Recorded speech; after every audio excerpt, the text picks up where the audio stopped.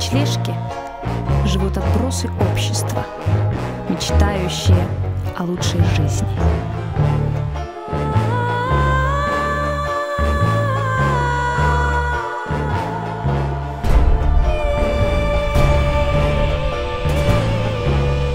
К ним приходит странник, который убеждает людей, что мечты сбываются, надо только поверить в себя.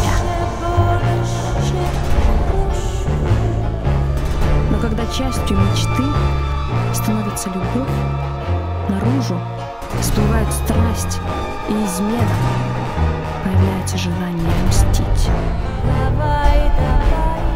Которые, словно ураган, стирают все и всех на своем пути.